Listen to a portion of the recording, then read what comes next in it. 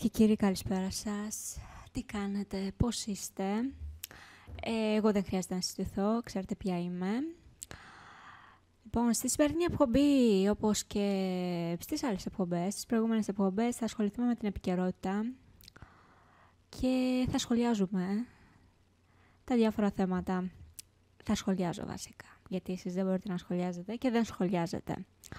Λοιπόν, πάμε τώρα σε μια είδηση που δεν αφορά τόσο πολύ τους Έλληνες, ωστόσο είναι σημαντικό το ότι η Βρετανία βρίσκεται ένα βήμα πριν ε, αποχωρήσει, πάρει διαζύγιο από την ε, Ευρωπαϊκή Ένωση. Η Βρετανίδα πρέσβη στην Ελλάδα δήλωσε ότι το Brexit είναι λαϊκή εντολή και θα κριθεί στη Βουλή. Εν μέσω της πολιτικής δίνης, την οποία στροβλίζεται τα τελευταία 24 ώρα η Μεγάλη Βρετανία και ενώ η Τερέζα Μέη βρίσκεται υπατμών και αντιμέτωπη με το ενδεχόμενο μιας καρατόμησης της, η πρέσβης της Βρετανίας στην Ελλάδα, Kate Smith, μιλά αποκλειστικά στο news στο συγκεκριμένο site που διαβάζω, δεν χρειάζεται να το διαφημίζω, για το οποίο... Ε, για το τοπίο που διαμορφώνει το προσχέδιο συμφωνίας για το Brexit τόσο στο Λονδίνο όσο και στην Ευρωπαϊκή Ένωση. Μετά τον ντόμινο παρετήσεων υπουργών και βουλευτών της κυβέρνησης και τις ηχηρές δηλώσεις της Βρετανίδας Πρωθυπουργού που έκανε στη συνέντευξη τύπου από την Downing ότι ο δρόμος που χάραξε είναι σωστός και ότι η συμφωνία θα πάει μέχρι τέλους, η Kate Smith μιλά για το τρίτο Θεσσαλονίκη Summit, τη Συμφωνία των Πρεσπών, τις ανησυχίες και για τα Δυτικά Βαλκάνια και τον ρόλο της Ρωσίας, καθώς και για την πορεία της Ευρώπης υπογραμμίζοντας. Σε λίγα χρόνια θέλουμε να μιλάμε για μια Ευρώπη αγμάζουσα, ασφαλή, εξωστρεφή, με πολίτες που ευημερούν και προοδεύουν. Αυτό είναι προς το συμφέρον όλων μας, άλλωστε δεν έχουμε καμία αμφιβολία επ' αυτού. Παράλληλα για την χώρα μας, την Ελλάδα σημειώνει ότι έχει τεράστιο δυναμικό ανάπτυξη, μειώνοντας χαρακτηριστικά τα χρόνια της κρίσης πολύ λαμπρά μυαλά έκαναν προσωρινά σπίτι τους στη Βρετανία.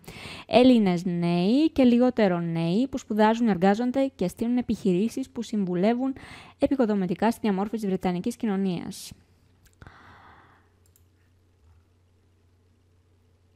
Ποινή δίωξης κατά του Τζούλιαν Ασάνς άσκησαν οι Ηνωμένες Πολιτείες της Αμερικής. Αμερικανοί εισαγγελεί ε, έχουν ήδη ασκήσει ποινική δίωση σε βάρος του Τζούλιαν Ασάνς, η οποία όμως παραμένει μέχρι τώρα σφραγισμένη, αποκάλυψε η συντακτική ομάδα του ιστιότοπου Wikileaks που είδησε ο Αυστραλός. Το γεγονός φαίνεται πως αποκαλύφθηκε κατά λάθος μέσω εισαγγελικού εγγράφου που δημοσιοποιήθηκε στο πλαίσιο άλλης υπόθεσης σύμφωνα με τα Wikileaks. Στο έγγραφο αυτό αναφέρεται ότι οι κατηγορίες σε βάρος του Ασάν θα παραμείνουν μυστικές ως την σύλληψή του. Η ακριβής φύση του κατηγορητηρίου δεν γίνεται σαφής. Ο Ασάν θεωρείται υπεύθυνος για την αποκάλυψη χιλιάδων απόρριτων και εμπιστευτικών Αμερικανικών στρατιωτικών και διπλωματικών εγγράφων το 2010. Στο έγγραφο που δημοσιοποιήθηκε κατά λάθος, εισαγγελικός λειτουργός ζητεί από δικαστή να σφραγίσει έγγραφα που συνδέονται με μια άλλη ποινική υπόθεση, άσχετη με τον Ασάν. Οι σφραγίδες και οι σημάνσεις που φέρει υποδεικνύουν πως υπευλήθη σε Ομοσπονδιακό Διακαστήριο στην Αλεξάνδρεια, στη Βιρτζίνια, τον Αυγούστο. Αυτά λοιπόν συμβαίνουν στην Αμερική. Πάμε σε ένα μικρό μουσικό διάλειμμα και επιστρέφουμε.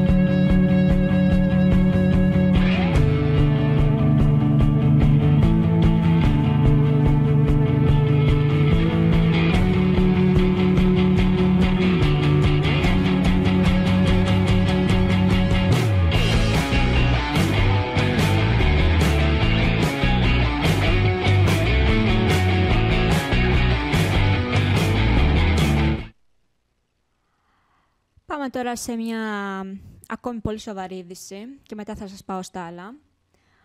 Να παραμείνουν ε, οι κληρικοί στο δημόσιο αποφάσισε η Ιερά Σύνοδος.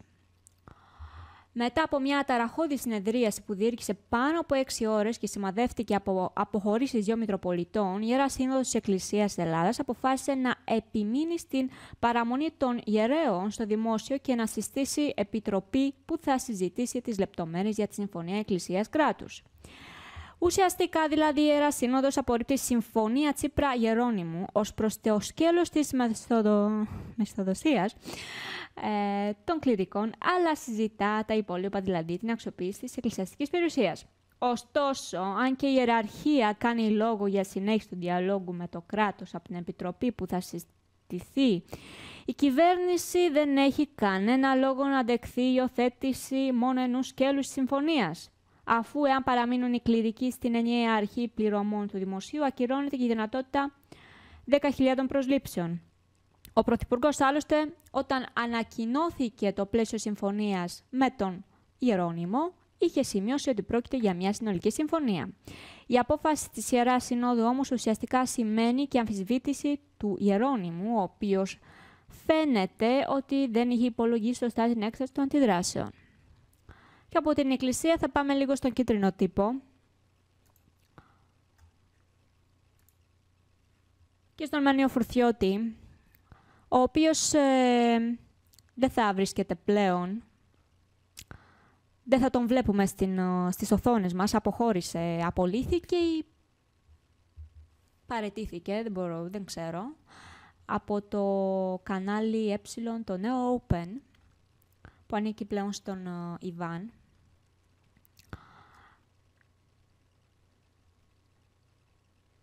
Λοιπόν, τίτλοι τέλους στην εκπομπή αποκαλυπτικά του Μένιου Φουρθιώτη ρίχνει με απόφασή του το μονομολές πρωτοδικείο της Αθήνας, καθώς απέρριψε την αίτηση ασφαλιστικών μέτρων που είχε καταθέσει ο παρουσιαστής σε βάρος της ραδιοτηλεοπτικής πρώην ΕΝΟΠΕΝ και της διμέρα του Ιβάν Σαββίδη.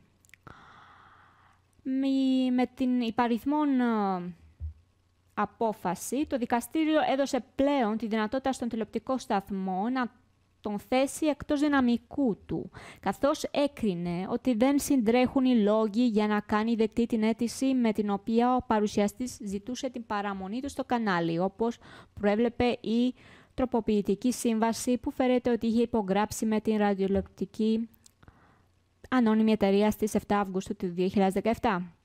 Άλλωστε, μέσα σε ελάχιστο χρόνο, με την δημοσιοποίηση του διατακτικού του δικαστηρίου, ο σταθμός έλυσε και επίσημα την πενταετή συνεργασία του με τον Μίστερ Αποκαλυπτικά. Πόσο θα μου λείψει αυτή η εκπομπή; Εγώ δεν την έβλεπα. Θα το παραδεχτώ Το Σαββατοκύριακο ήταν, ναι, οπότε είχα λίγα χρόνια και την έβλεπα. Ε, θεωρώ ότι θα μας λείψει αυτό το trash πρόγραμμα. Αλλά και τα trash έχουν και ένα θετικό θα ξέρεις να κρίνεις. Όταν υπάρχουν και trash και καλά προγράμματα, θα ξέρεις ποια θα παρακολουθείς. Έτσι, ναι. Πάμε να δούμε τι άλλο έγινε όσον αφορά την αποχώρηση του Μένιου Φουρθιώτη. Κατά την συζήτηση υπόθεση 9 Οκτωβρίου, οι δικηγόροι της ραδιοτηλεοπτικής ανώνυμης εταιρείας και της Διμέρα είχαν αμφισβητήσει ευθέως την εγκυρότητα της επίμαχης σύμβασης του παρουσιαστή, υποστηρίζοντας ότι έλαβαν γνώση για την ύπαρξή της μόνο τον περασμένο Απρίλιο, όταν γνωστοποίησαν με εξώδηγα τους στον Μένιο Φουρθιώτη να ε, και την καταγγελία της σύμβασής του, καθώς η διοίκηση του σταθμού δεν επιθυμούσε να συνεχιστεί η συνεργασία. Έχουμε κι άλλα κίτρινα θέματα να συζητήσουμε. Μην ανησυχείτε. Λοιπόν, είχα δει ένα... Λοιπόν, πάμε τώρα στον Πάρη Κατσιδόκοστα, ο οποίος έχει business με τον Μάρτιν Σκορσέζε. Έχει business, δηλαδή θα πρόκειται να συνεργαστεί, κάτι τέτοιο καταλαβαίνω. Πάμε όμως να δούμε πιο αναλυτικά. Τι έγινε. Συνεργασία βόμβα στο Χόλιγουντ για Πάρη Κασιδόκωστα Λάτσι και Μάρτιν Σκορσέζε. Οι δύο τους μέσω των εταιριών παραγωγής τους θα συνεργαστούν σε ένα νέο κινηματογραφικό εγχείρημα στην ταινία Port Authority, η οποία αυτή την περίοδο βρίσκεται στα σκαριά. Ο Πάρης Κατσιδόκοστας Λάτσης συμμετέχει στο φιλμ χρηματοδοτώντας το μέσο Hercules Film Found, που είχε ιδρύσει ο ίδιος ενώ σε αυτήν παίρνει μέρος και η εταιρεία παραγωγής ταινιών του πολυβραβευμένου Αμερικάνου σκηνοθέτη η Sicilia Productions. Το Port Authority είναι μια ερωτική ιστορία που εκτιλήσεται στη Νέα Υόρκη μεταξύ του Paul Fionn Whitehead και της Y που υποδίεται το διάσημο μοντέλο Lena Bloom. Τα σύννεφα στη Σία σου εμφανίζονται όταν ο Πόλ αποκαλεί το σύντροφος στην διεμφυλική, οπότε βρίσκεται αντιμέτωπος με την επιθυμία του για αυτήν, αλλά και την βία γύρω του. Την σκηνοθεσία την κάνει ο Ντάνιελ Λέσοβιτς. Μάλιστα, μεγάλο βήμα για τον Πάρη Κατσιδέκοστα να συνεργαστεί με αυτόν τον πολύ βραβευμένο σκηνοθέτη, ωστόσο δεν νομίζω ότι αξίζει να το διαβάσουμε ολόκληρο το άρθρο. Έχουμε κι άλλα νέα, μην ανησυχείτε. Εγώ είμαι εδώ για σας. Λοιπόν, πάμε... Η νέα σειρά του Μάρτιν Σκορτσέζε θα σε ταξιδέψει στην αρχαία Ρώμη. Το Caesars ακολουθεί τα χνάρια του Ιούλιου Κεσσαρά. Έχουμε να δούμε μια καλή αρχαιορωμαϊκή σειρά από την εποχή του HBO. Ναι, ο Μάρις Σκορτσέζε, από ό,τι βλέπω εδώ, ετοιμάζει μια ταινία θα ενώσει τις δυνάμεις τους με τον Βρετανό σεναριογράφο, σκηνοθέτη και παραγωγό Μάισελ Χίρστ για να δημιουργήσουν τους Σίζαρ. Η σειρά θα επικεντρώνεται γύρω από την οικογένεια του Ιούλιου Κέσσαρα και θα περιγράφει την άνοδό του προς την εξουσία. Το σενάριο του πρώτου επεισοδίου είναι ήδη γραμμένο, όπως και το που θα κινηθεί η πρώτη σεζόν μετά τα και τα γυρίσματα θα ξεκινήσουν την επόμενη χρονιά στην Ιταλία. Οπότε καταλαβαίνετε πώς θα αργήσει να έρθει στην Ελλάδα. Ωστόσο, εμένα θα με ενδιαφέρει να δω μια τέτοια σειρά. Ταινία είναι η σειρά. Σειρά. Τι άλλα έχουμε εδώ;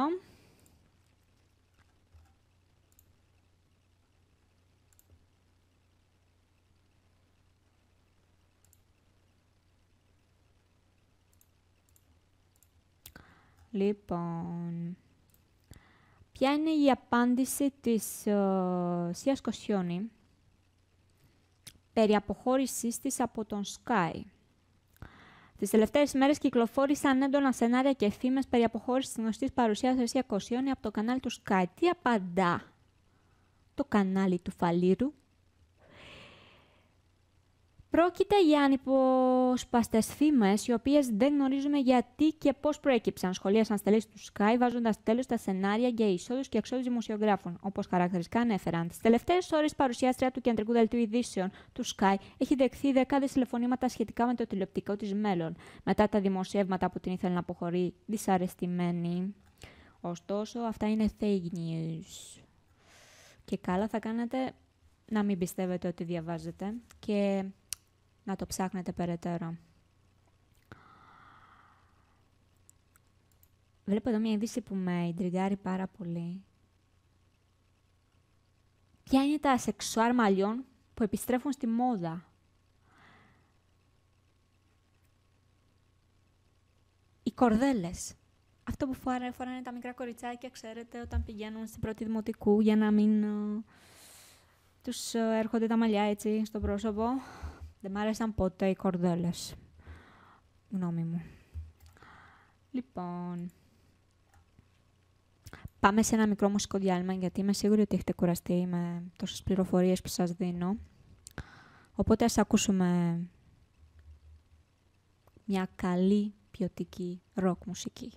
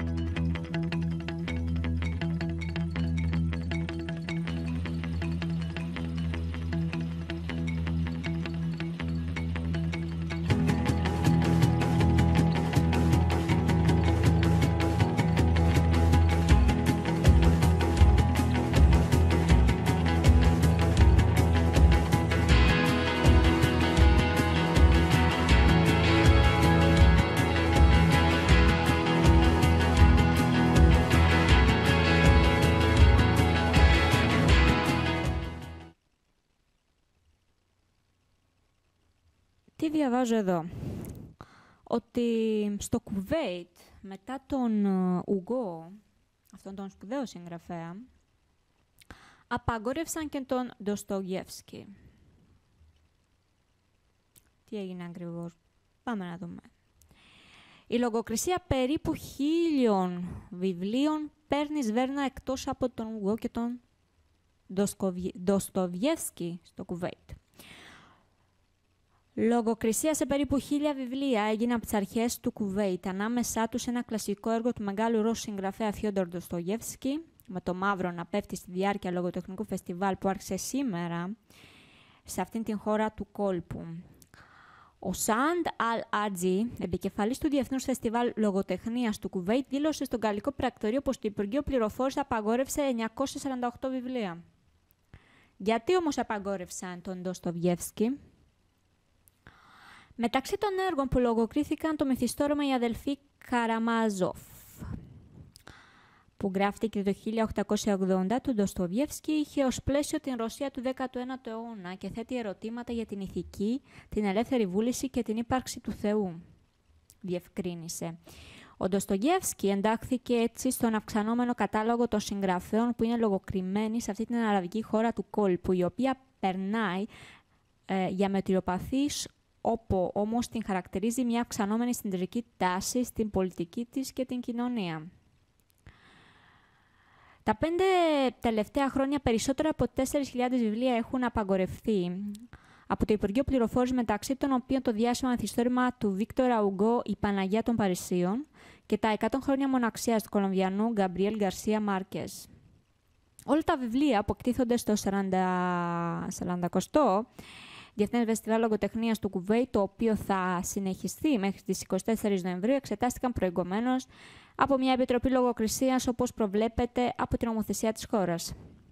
Η επιτροπή αυτή, η οποία εξαρτάται από το Υπουργείο Πληροφόρησης, λειτουργεί βάσει του νόμου 2006 περί τύπου και εκδόσεων, ο οποίος προβλέπει κυρώ σε βάρος εκδοτών λογοτεχνίας και τύπου. Αυτά λοιπόν συμβαίνουν στο Κουβέι, πράγματα που συνέβαιναν πριν από 100 χρόνια, συνεχίζουν και ε, συμβαίνουν ακόμα. Ε, και εντάξει, υπάρχουν και άνθρωποι που υπο, ε, πρέπει να υπομείνουν αυτές τις uh, συνθήκες. Τι λέω σήμερα, σήμερα δεν ξέρω τι λέω, sorry, ε. Λοιπόν, είχαμε μια προειδοποίηση για βόμβα στην Πανεπιστημίου. Εκεί κοντά μένω κι εγώ. Στα εξάρχεια. Άγνωστος έκανε τηλεφώνημα με το οποίο προειδοποίησε ότι είχε τοποθετηθεί βόμβα στον αριθμό 20 της Οδού Πανεπιστημίου στο κέντρο της Αθήνας. Ο άγνωστος που προειδοποίησε για βόμβα στην Οδό Πανεπιστημίου έδωσε σε περιθώριο 40 λεπτών. Οι αστυνομικοί, βέβαια, άμεσα απέκλεισαν τον δρόμο, κόβοντας την κυκλοφορία και ειδοποίησαν το ΤΕΕΜ για να ελέγξει το σημείο. Στον αριθμό 12 του Πανεπιστημίου βρίσκεται το Νομισματικό Μουσείο. Αυτός είναι ο χώρος στον οποίο εστιάζουν την έρευνα οι πυροτεχνουργοί. Έχω πάει σε αυτό το μουσείο, πραγματικά είναι από τα πιο ωραία μουσεία της Αθήνας, βέβαια μετά το Μουσείο της Ακρόπολης και αξίζει να πάτε αφού ερευνήσουν το χώρο, εξερευνήσουν το χώρο και δεν, δεν υπάρχει βόμβα εννοείται. Δεν θα διακινδυνεύσετε τη ζωή σας. Λοιπόν, τι άλλο έχουμε; Πάμε λίγο στις σχέσεις, γιατί σας έχω συνηθίσει. Σας έχω κακομάθει στο να συζητάμε για σχέσεις. Ποια είναι τα δέκα πράγματα που μπορεί να σου μάθει ένας χωρισμός;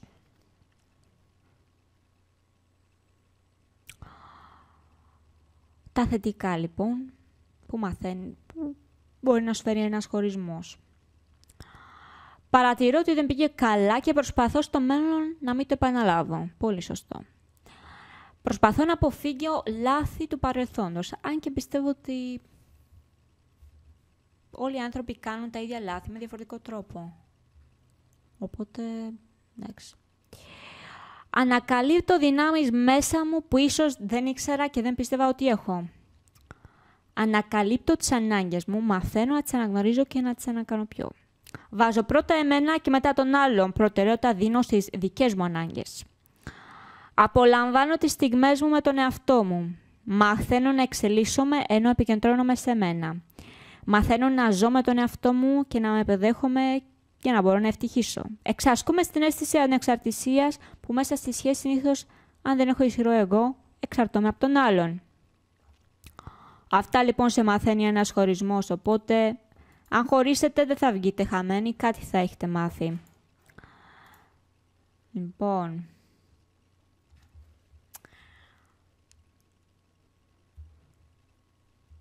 Έπιασαν ληστή σωσία του Ρώσα από τα φιλαράκια.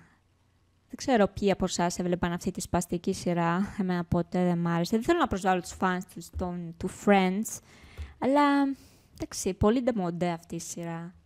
Δεν είμαι και κριτικός κινηματογράφου, αλλά λέω τη γνώμη μου. Την εκπληκτική ομοιότητα του δράστη με τον συμπροταγωνιστή της σειράς φιλαράκια David Swimmer εντόπισαν χρήστες των social media. Η αστυνομία του Lancaster ανακοίνωσε σήμερα πως συνελήφθη ένας 36χρονος που μοιάζει με παχσίνοκνο ηθοποιό, εννοώντας τον Ρώσα από τα φιλαράκια ως ύποπτος για ληστεία. Η ομοιότητα του δράστη που αποτυπώνονταν να παίρνει ένα κουτί με μπύρες από κατάστημα σε βίντεο το οποίο έδωσε στη δημοσιότητα η αστυνομία του Lancaster με τον ηθοποιό David Swimmer είχε γίνει αμέσως αντιληπτή από χρήση των social media με αποτέλεσμα να ακολουθήσει πάρτι στο Facebook και στο Twitter. Στο χώρο μπήκε ο ίδιος ο Ρος από τα φιλαράκια, που με ανάρτησή του στο Twitter βιντεοσκοπήθηκε να κουβαλάει ένα κουτί μπύρες και έγραψε «Αστυνομική, σας ορκίζομαι ότι δεν είμαι εγώ». Όπως μπορείτε να δείτε, είμαι στη Νέα Υόρκη. Ε, βέβαια. Γιατί είναι λίγες φορές που κάποιοι ληστές ή τέλος πάντων κακοποιοί είχαν σωσία και αντί να μπει ο κακοποιός στη φυλακή έμπαινε ο σωσίας, τέλος πάντων, κάποιος που έμοιαζε πολύ με αυτόν. Θυμάμαι είχα δει μια τέτοια εκπομπή, ένα τέτοιο ντοκιμαντέρ. Οπότε ελπίζω να μην συμβεί σε κάποιον από εσά αυτό, γιατί είναι πολύ αδικό. Πάμε σε ένα μικρό διάλειμμα. Έτσι κι αλλιώς έχουμε πολύ χρόνο σήμερα.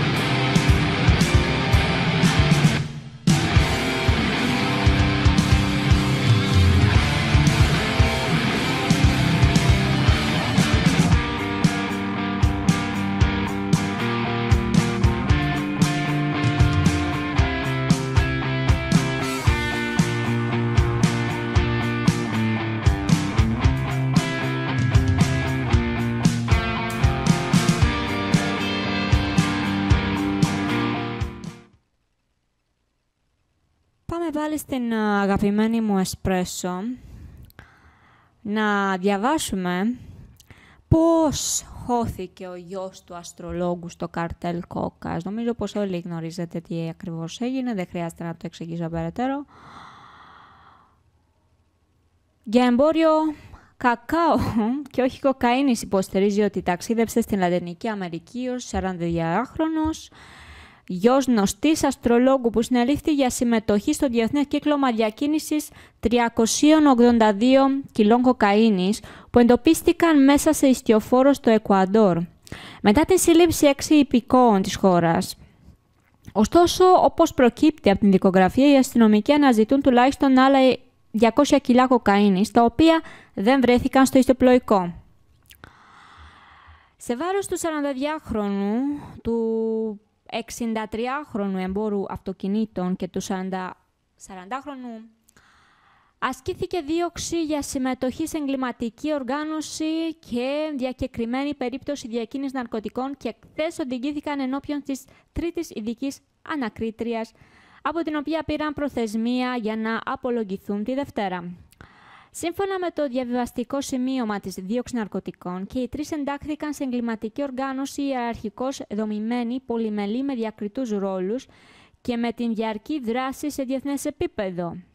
Με σκοπό τους την διαθαλάσσης μεταφορά προς περαιτέρω διακίνηση στην Αυστραλία σημαντικών ποσοτήτων κοκαίνης. Μάλιστα, ο έμπορος αυτοκινήτων και ο 40χρονος διεύθυναν το εντός των συνόρων σκέλος της εγκληματικής ομάδας, ενώ ο ίδιος ο γιος της αστρολόγου και ιδιοκτήτης καφετέριας των Πειραιά ήταν επιφορτισμένος με τον έλεγχο και διεκπαιρέωση των λεπτομεριών και διαδικασιών της επιμάχης μεταφοράς. Μάλιστα, σε περίοδους κρίσης, μερικοί βρίσκουν λύση. Εμείς δεν βρίσκουμε λύση. Αυτό έχω να πω μόνο. Φυσικά και αστείευομαι. Σοκ. Σοκ έκοψε τα χέρια της γυναίκας του με τσεκούρι γιατί νόμιζε τον απατούσε. Αυτό θα πει αγάπη, αυτό θα πει πάθος. Ένας Ρώσος που έκοψε τα χέρια της συζύγου του με τσεκούρι καταδικάστηκε σήμερα σε κάθιξη 14 ετών σε μια υπόθεση που επανέφερε στο φως της δημοσιότητας την πραγματικότητα της ενδοοικογενειακής βίας στη χώρα. Ο Δημήτρη Γκρατσέφ καταδικάστηκε σε κάθερξη 14 ετών με ποινή που θα εκτίσει σε φυλακές υψής της ασφαλείας από δικαστήριο του Σερμπουκόφ. Σε απόσταση 100 χιλιόμετρων νότια της Μόσχας, είπε το γαλλικό πρακτορείο μια εκπρόσωπος τρίπος του δικαστηρίου. Την 11η Δεκεμβρίου του 2017 ο άντρας οδήγησε την γυναίκα του Μαργαρίτα Γκράτσεβα, την οποία κατηγορούσε ότι τον απατούσε σε ένα δάσος κοντά στη Μόσχα, αφού είχε αφήσει τα δύο παιδιά τους σε ένα παιδικό σταθμό. Της έδεσε τα χέρια και μετά της έκοψε τα δάχτυλα, πριν αρχίσει να χτυπάει με το τσεκούρι τους πύχης των χεριών της πάνω στη ρίζα ενός δέντρου. Στη συνέχεια, ο Γκρατσέφ έβαλε το θύμα του αιμοστατικούς επιδέσμους για να αποφευχθεί το ενδεχόμενο να χάσει πάρα πολύ αίμα. Μάλιστα, δεν ήθελε να τη σκοτώσει. Τα χέρια ήθελε να τη κόψει. Καταλάβατε. Τη μετέφερε στο νοσοκομείο μαζί με ένα κουτί παπουτσιών περίχε το κομμένο δεξί χέρι της. Συγγνώμη, πραγματικά. Μου φαίνεται πολύ αστείο αυτό που έγινε. Είμαι λίγο κοινική, το ξέρω, αλλά μου φαίνεται πολύ αστείο.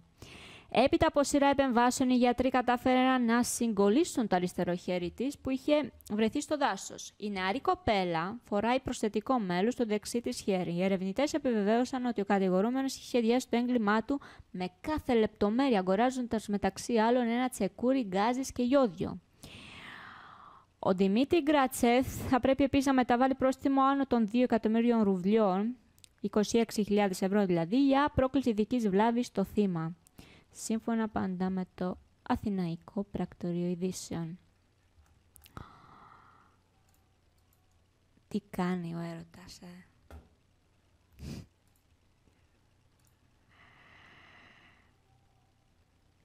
Δικαστική απόφαση υπέρ του CNN να ψηφά την εντολή Τραμπ.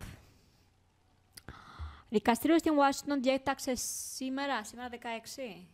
Έχουμε, ναι τον Λευκό Οίκο να επαναφέρει την διαπίστευση του δημοσιογράφου του CNN Jim Acosta στην Αμερικανική Προεδρία, την οποία είχε ανακαλέσει έπειτα από μια θελώδη αντιπαράθεση με τον Ντόναλτ Τραμπ.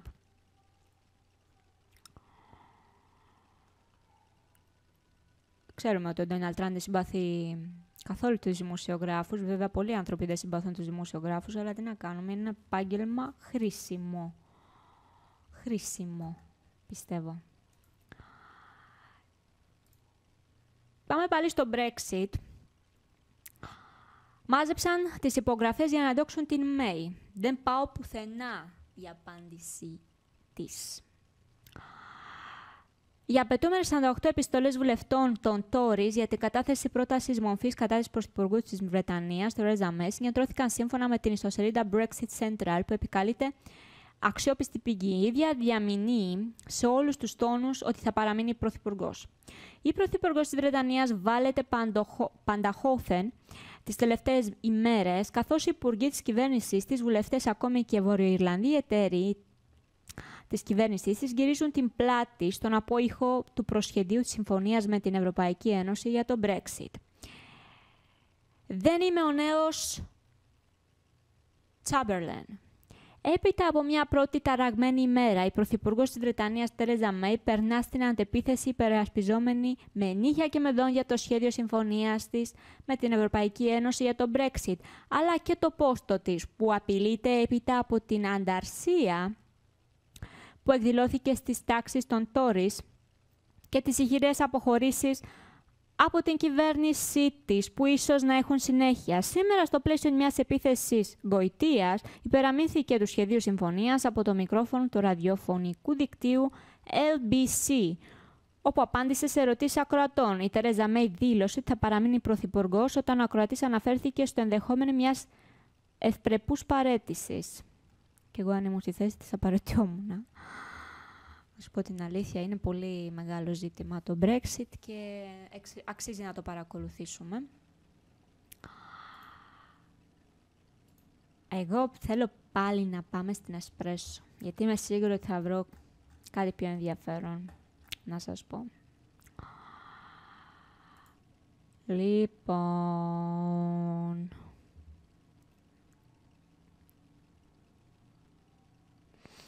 Το διαμάντι Pink Legacy πωλήθηκε για 44 εκατομμύρια ευρώ.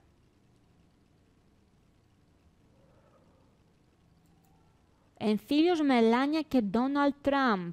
Πάμε πάλι στον Τραμπ. Αυτή τη φορά όμως συγκρούεται με την γυναίκα του, τη Μελάνια, η οποία από ό,τι βλέπουμε από ό,τι δείχνει και η ίδια, δεν τον πολύ ανέχεται. Δεν τον πολύ συμπαθεί. Και τώρα πια καταλαβαίνει πια το λάθος της. Ε, σε ανατολικούς και δυτικούς έχουν χωριστεί στον Λευκό Οίκο η Τραμπ σε μια πρωτοφανή επίδειξη διάστασης απόψεων, αλλά και ανάμειξης της πρώτης κυρίας στα προεδρικά χωράφια. Η δημόσια έκκληση της Μελάνια για την ε, απόλυση της αναπληρώτριας συμβούλου σε θέματα εθνικής ασφάλειας, της κυβέρνησης και μιας από τις πιο υψηλόβαθμες εργαζόμενες στον Λευκό Οίκο, Μίρα Ρίκαρντελ, είχε προκαλέσει αίσθηση στην κοινή γνώμη, δεδομένου ότι τέτοιου είδους θέματα έθιστε, ήθιστε να συζητά ιδιωτικά το προεδρικό ζεύγος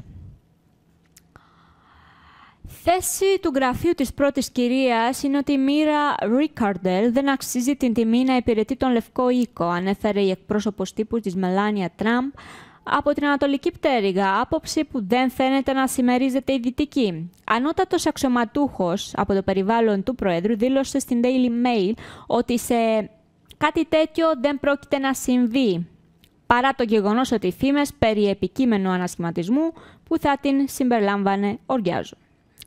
Αυτό που φέρεται ότι ενόχλησε τη Μελάνια ήταν ένας καυγάς που ξέσπασε ανάμεσά τους στο αεροσκάφος με το οποίο ταξίδεψαν τον περασμένο μήνα στην Αφρική αναφορικά με τις θέσεις όπου θα κάθονταν αλλά και για το γεγονός ότι η Ρίκαρντελ της θύμισε δύο από τους βοηθούς της. Η πρώτη κυρία των ΗΠΑ, σύμφωνα με το USA Today, υποπτεύεται ότι εκείνη βρίσκεται πίσω από τις διαρροές των τύπων σχετικά με τον καυγά. Ο αξιωματούχος, τον οποίο επικαλείται η Daily Mail, διαψεύδει ωστόσο ότι η Ρικαρντέλ βρίσκεται πίσω από την διαρροή. Στα θύματα του επικείμενου ανασχηματισμού φημολογείται επίσης ότι θα συγκαταλέγονται η Υπουργός Εσωτερικής Ασφαλείας Κρίστεν Νίλσελ και ο προσωπάρχης του Λευκού Οίκου Τζον Κέλλη. Αυτά λοιπόν συμβαίνουν στον Λευκό Οίκο. Πολύ πιο ενδιαφέρον, πιστεύω, πράγματα, ενδιαφέροντα πράγματα από ό,τι στην Ελλάδα. Εδώ δεν ξέρουμε τίποτα για τους πολιτικούς μας. Περίπου. Βασικά, ξέρουμε κάποια πράγματα για την προσωπική της ζωή, αλλά όχι τόσο πολλά όσο για τον Τραμπ και τη Μελάνια, την οποία εγώ συμπαθώ.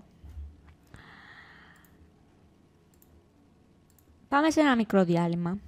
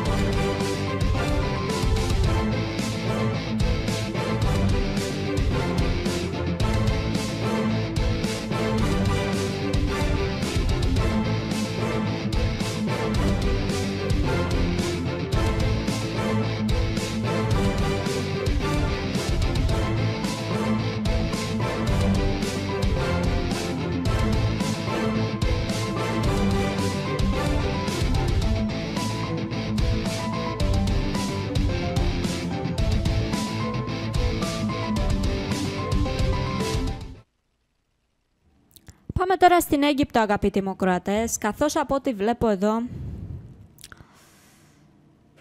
Επτά σαρκοφάγοι με απίστευτο περιεχόμενο βρέθηκαν σε τοποθεσία κοντά στις πυραμίδες νότια της Αιγυπτιακής πρωτεύουσας, την πόλη του Καΐρου. Ομάδα Αιγυπτίων επιστημόνων αποκάλυψε, ανακάλυψε στους επτά αρχαίους Αιγυπτιακούς τάφους σε μια κοντινή απόσταση από τις πυραμίδες δεκάδες μόνιμες μούμιες γκάτας, όπως αναφέρει το Sky News. Μαζί τους βρέθηκε και μια σπάνια συλλογή μουμοποιημένων σκαραβαίων. Η ανακάλυψη έγινε κατά διάρκεια ανασκαφικών εργασιών που άρχισαν τον περασμένο Απρίλιο, δήλωσε ο Υπουργός Αρχαιοτήτων Ελ Ενανή. Οι επτά σαρκοφάγοι από τις όποιες από τις οποίες κάποιες χρονολογούνται πάνω από 6.000 χρόνια, εντοπίστηκαν σε μια περιοχή στην άκρη του πυραμιδικού συγκροτήματος Σακάρα, νότια του Καΐρου. Τρεις από τους τάφους είχαν χρησιμοποιηθεί αποκλειστικά για γκάτες, είπε, ενώ μια σαρκοφάγος ανήκε στον Κούφου, ημάτι υπεύθυνο του παλιατού του Φαραώ. Ο Μουσταφά Βαζίρη, επικεφαλής του Ανώτατου Συμβουλίου Αρχαιοτήτων της Αιγύπτου, δήλωσε ότι η αποστολή είχε επίσης φέρει στο φως τις πρώτες μούμιες σκαραβαίων που βρέθηκαν στην περιοχή. Δύο βρέθηκαν μέσα σε μια ορθογόνια σαρκοφάγκο ασβεστόλιθου με θολωτό καπάκι και μαύρη διακόσμηση σε σχήμα μαργαριταριού. Περιείχαν περίπου 100 ξύλινα επιχρυσωμένα αγκάλματα ελουροειδών και ένα χάλκινο αφιερωμένο στη θεά Γκάτας Μπαστέτ. Στην αρχαία Αίγυπτο, οι γάτες όταν πέθαιναν θάβονταν ως θρησκευτικές προσφορές. Λατρεύονταν επειδή θανατώνονταν δηλητηριώδη φίδια και προστατεύονταν από τους Φαραώ τουλάχιστον από την πρώτη βασιλική δυναστεία με τα σκελετικά ταφικά υπολείμματα να χρονολογούνται από την 12η δυναστεία. Το Facebook, το Twitter και το Instagram στην υπηρεσία της εφορίας διαφεύγουν, φοροδιαφεύγουν αυτά τα media. Media είναι συνήθως, στην ουσία μέσο, ένα μέσο είναι. Το Facebook, το Instagram και το Twitter. Μέσω ενημέρωσης, μέσω... Τα social media, όπως το Facebook, για να ξετρυπώσει τους φοροδια... όσους φοροδιαφεύγουν θα χρησιμοποιήσει το εξής η εφορία στην Γαλλία. Όπως δήλωσε ο Υπουργός Προϋπολογισμού Ζεράλ Ντερμανέν, στην οικονομική τηλεοπτική εκπομπή Capital, η γαλλική εφορία θα αρχίσει στις αρχές του 2019 να ψάχνει του λογαριασμούς σε μέσα κοινωνικής δικτύωσης Facebook, Twitter, Instagram, στο πλαίσιο ενός πιλωτικού προγράμματος μάχης κατά της φοροδιαφυγής. Η ιδέα είναι να εντοπίζονται φορολογικές απάτες μέσω της ανάλυσης δημόσια διαθέσιμων δια, ε, δεδομένων, τα οποία υπάρχουν σε ατομικούς λογαριασμούς σε μέσα κοινωνικής δικτύωσης, δήλωσε η Οντεραμέν, σύμφωνα με προσπάσμα της εκπομπής που θα μεταδοθεί την Κυριακή. Η εφορία θα μπορεί να βλέπει αν έχετε πολλές φωτογραφίες σας με πολυτελές αυτοκίνητο. Ενώ δεν έχετε τα μέσα για να διαθέτετε τέτοιο αυτοκίνητο, τότε ίσως να σας το δάνει ο ξάδελφος ή η φιλενάδα σας ή ίσως και πάλι όχι. Το μέτρο αυτό περιλαμβάνεται σε ένα νόμο που θέτει η Γαλλία τον περασμένο μήνα με στόχο να ενισχυθούν οι δυνατότητες των αρχών να καταπολεμηθούν και έτσι να καταλάβουν ποιοι φοροδιαφεύγουν. Έξυπνο κόλπο. Μακάρι να το κάνουν, να το φέρουν και εδώ αυτό το μέτρο. Λοιπόν, τι άλλο έχουμε για σήμερα;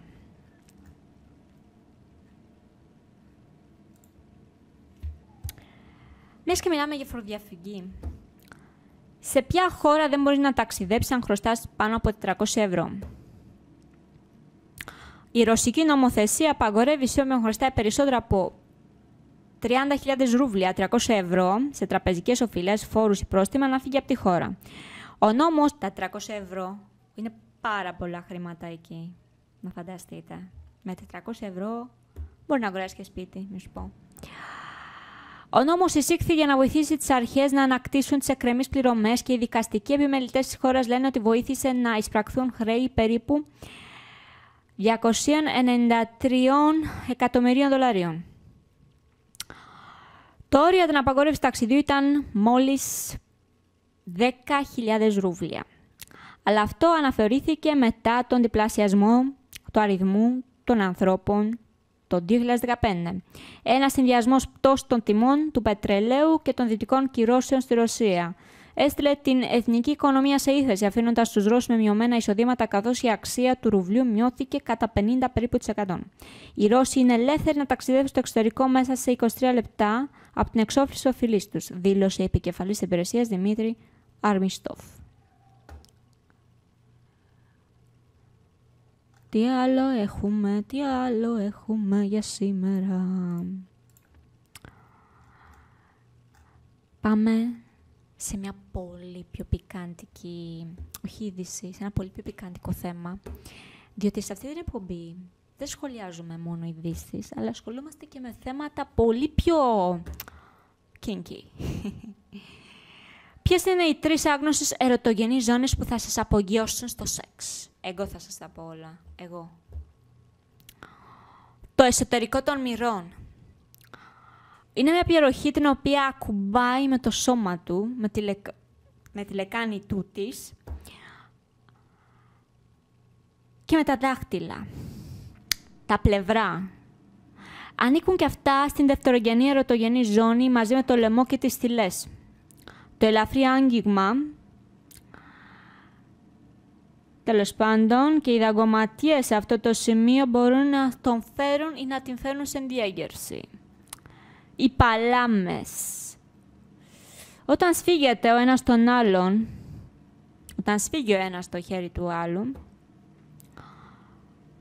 το μέρος του σώματός σου που ακουμπάει απόλυτα πάνω στο αντίστοιχο δικό του είναι η παλάμη. Παιδιά, μην μπούμε σε λεπτομέρειες, γιατί μπορεί η εκπομπή μου να κρυθεί ακατάλληλη μετά. Και δεν το θέλω αυτό. Εγώ θέλω να τα συζητήσω αυτά. Αλλά πού, πού, να ξέρω εγώ ότι είναι τόσο kinky αυτά τα άρθρα.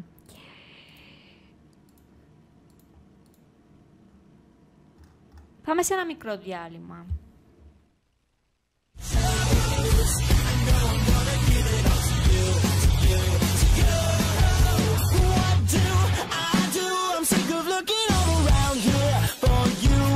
sipping on my Grey Goose. Nothing's making me forget you. Oh no.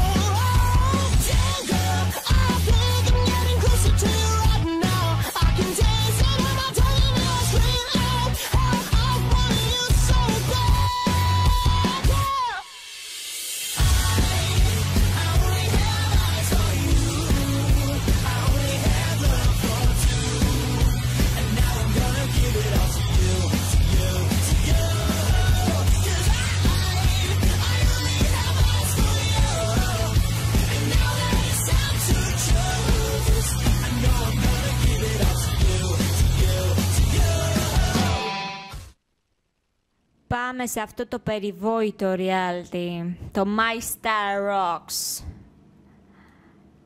Γίνεται της... Μη πω τώρα τι εκεί. Δεν το βλέπω.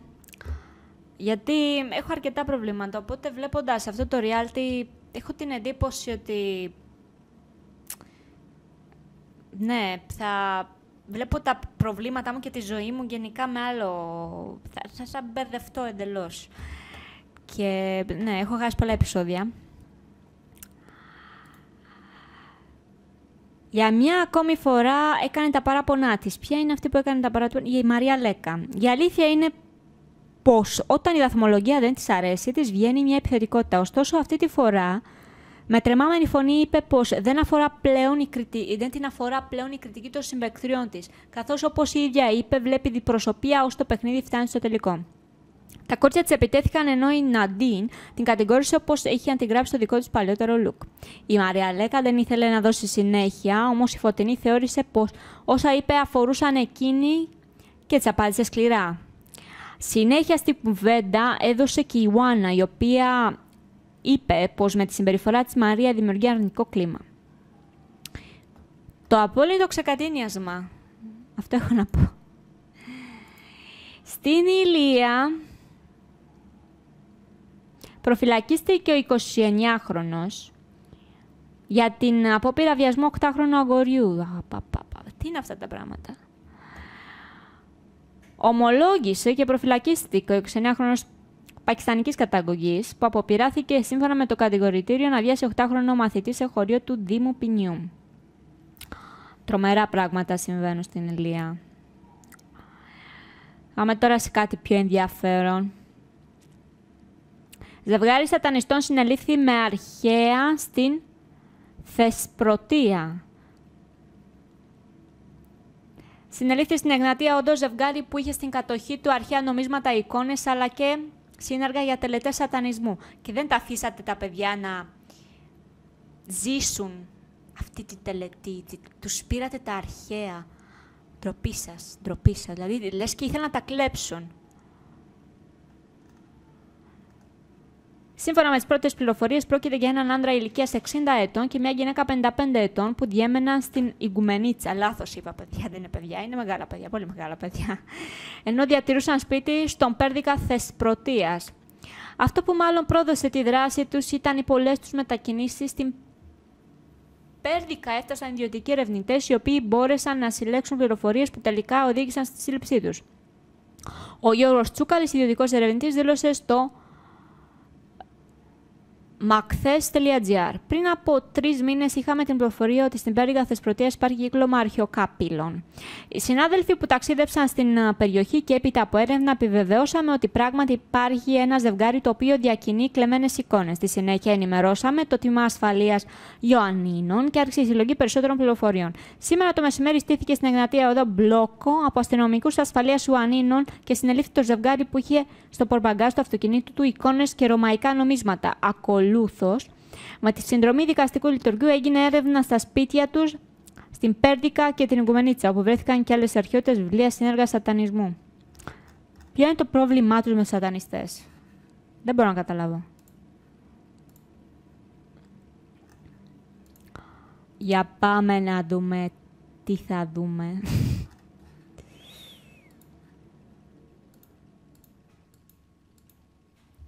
Έχω και άλλες ειδήσεις.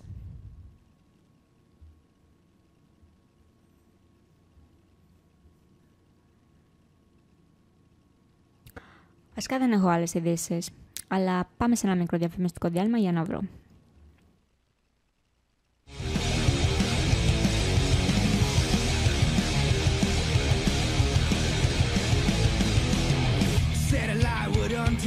my case. I hold my tongue. I know I say something I regret. Don't blame me. Just strike the match and walk away.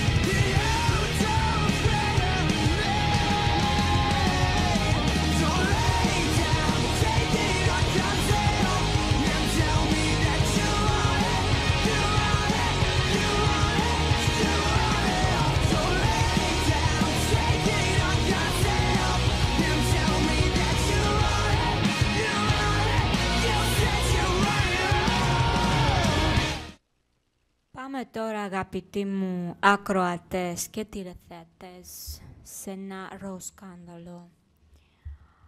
Σύζυγος γιατρού τον τσάκωσε με χείρα ασθενή του. Ερωτικές αντιζηλίες, απιστίες και καυγάντες που θα ζήλευαν ακόμα και οι σεναριογράφοι της διάσημης σαπουνόπερας Τόλμη και Γκοητεία σκανδαλίζουν μια πόλη στην Ετωλοκαρνανία.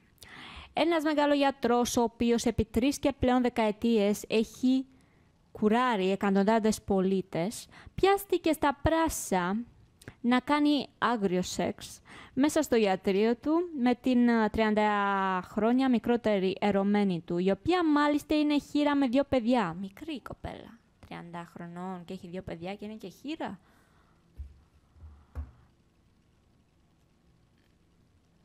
28χρονη μελαχρινή δεν περνάει παρατήρητη. 28χρονη 30χρονη θα αποκτασίσετε. Καθώς δεν είναι απλώς καλονία, αλλά πρόκειται, αρέσκεται να κυκλοφορεί με γκόβε στιλέτο που τονίζουν τη θηλυκότητά της.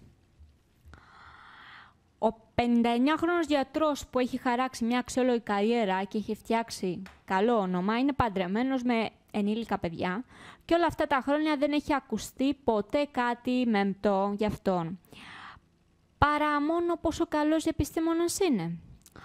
Όμως, πριν από λίγους μήνες, το καλό το όνομα μπλέχτηκε σε μια πιπεράτη υπόθεση που τάραξε τα νερά της οικογενειακής του γκαλίνης και προκάλεσε τριγμούς στη καριέρα του. Έως σήμερα, πολλοί από τους συμπολίτες του αδυνατούν να πιστέψουν ότι ο σοβαρός και ευγενικός γιατρός θα έπεφτε σε τέτοιο ολίσθημα. Όπως καταλαβαίνετε, μιλάμε για ένα χώριο ο κάθε ένας μπορεί να κάνει ό,τι θέλει στην προσωπική του ζωή. Δεν σημαίνει ότι θα επηρεαστεί και δεν πρέπει να επηρεαστεί και η καριέρα του από αυτό. Όλα άρχισαν όταν η 55χρονη σύζυγός του αντιλήθηκε αλλαγή στη συμπεριφορά του άντρα της, που τον τελευταίο καιρό ήταν αφηρημένος, απαντούσε απότομα στις ερωτήσεις της και αργούσε να επιστρέψει στο σπίτι μετά το γιατρείο. Ψήλου στα αυτιά της έβγαλαν κάποιες κλήσεις που είχε, στις οποίες για να απαντήσει έβγαινε στο μπαλκόνι. Μ' αρέσει που η Εσπρέσο ξέρει όλες τις λεπτομέρειες. Όμως και κάποια γραπτά μηνύματα που έστελνε μέσα στην ε, μαύρη νύχτα, νομίζοντας πως όλοι κοιμούνται, την έκανα να τον παρακολουθήσει ίδια. Ένα πρωί, που ο 59χρονος δεν είχε ιατρείο το νοσοκομείο, είπε στη γυναίκα του ότι είχε δουλειά στην τράπεζα και ενδεχομένως να αργούσε, γιατί υπήρχε πιθανότητα να δει κάποιου φίλου του. Η 55χρονη έγνεψε καταφατικά, αλλά όταν εκείνος έφυγε, τον ακολούθησε προσπαθώντας να την αντιληφθεί. Πραγματικά αξίζει να μπείτε στο site και να διαβάσετε όλη την ιστορία, διότι πραγματικά πρόκειται για σαπουνόπερα. Ποια είναι τα πέντε βήματα, αγαπητοί μου, αγαπητά μου παιδιά, που πρέπει να ακολουθήσετε για να ζητήσετε αύξηση. Πρώτον, επιχείρησε μια πιο τακτική επικοινωνία με τους ανώτερους σου. Δεν είναι αφέμητο αν είσαι καλός καλή στη δουλειά σου, που είναι και το πιο σημαντικό, Απ' όλα, πρέπει να βγεις μπροστά, να φανείς, να έχεις καλή και δυναμική παρουσία στον χώρο της εργασίας σου. Πρέπει να σε ξέρουν όσο δυνατόν περισσότεροι συνάδελφοι να αναγνωρίζουν την παρουσία σου, πέρα φυσικά από την επαγγελματική σου αξία. Γράψε μια λίστα με όσα έχεις καταφέρει σε αυτή τη δουλειά.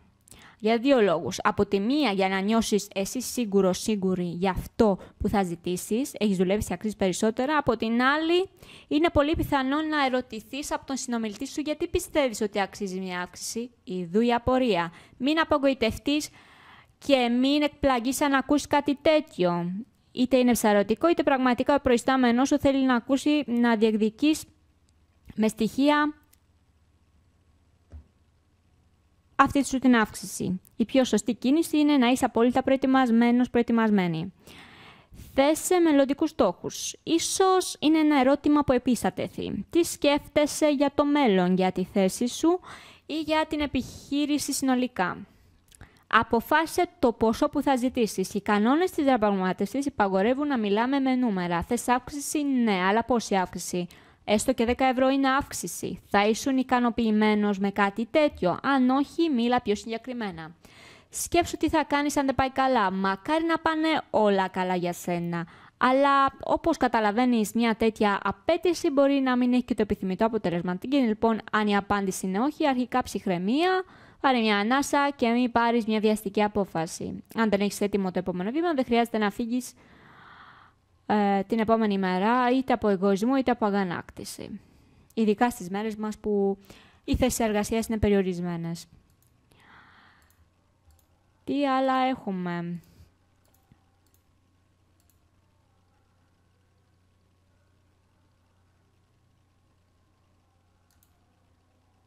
Συναγερμό στο Σαν Φρανσίσκο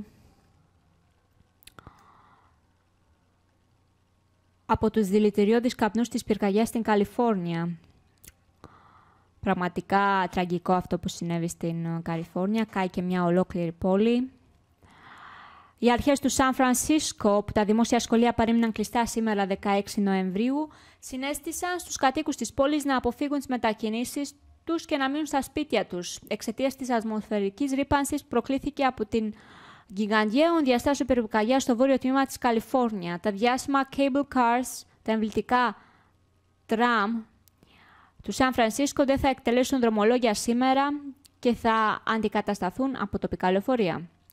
Έπειτα από αίτημα της Δημάρχου London Breed, μετακινήσεις με τα δημόσια μέσα μεταφοράς θα είναι δωρεάν. Καθυστερήσεις καταγράφηκαν και στις πτήσεις στο Διεθνές Αεροδρόμιο Σαν Φρανσίσκο ε, εξαιτίας της χαμηλής ορατότητας.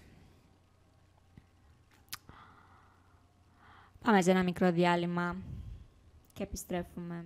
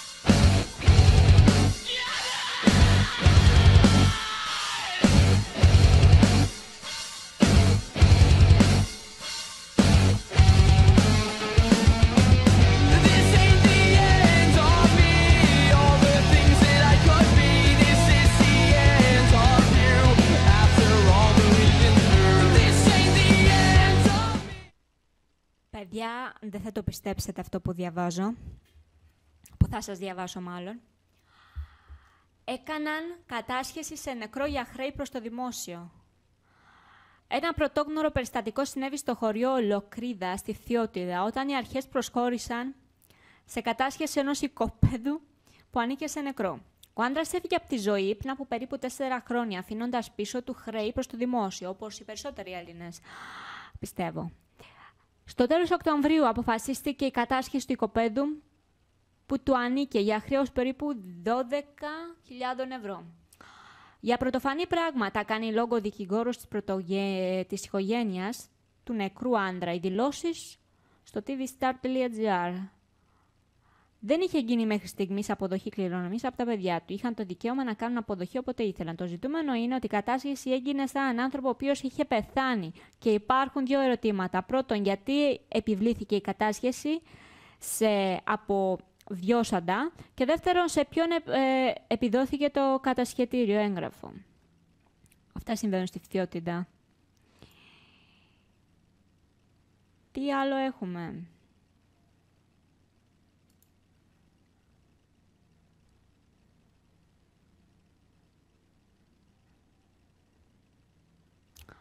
Έχουμε και άλλα πράγματα πρέπει να διαβάσουμε. Λοιπόν, τοπικά ισχυρέ καταιγίδες στα δυτικά και νότια. Θυελώδες άνεμοι, χιόνια, ωραία. Δεν ξέρω αν βρέχει τώρα, γιατί δεν μπορώ να δω. Αλλά τέλος πάντων θα υπάρξει η επιδείνωση του καιρού. Οπότε να κουβαλάτε τις ομπρέλες σας.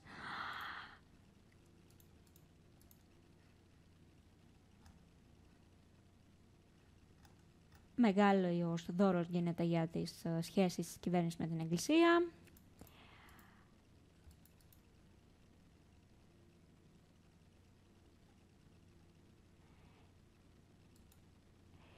Σε αυτό το σημείο, αγαπητοί μου ακροατές, δυστυχώς η εκπομπή μας έφτασε στο τέλος της. Σας περιμένω την επόμενη Παρασκευή, 7 με 8, βασικά μπορεί να αρχίσω και λίγο πιο νωρίς, 7 ε, παρά 20, στην τηλεόραση, στην διαδικτική τηλεόραση της Νέας Μύρνης, ε, οπότε μέχρι τότε να περάσετε τέλεια, τέλεια. Και Ελπίζω να βγείτε σήμερα και αύριο και γενικά να βγαίνετε, μην κάθεστε μέσα στο σπίτι. Οπότε, φιλιά σε όλους σας.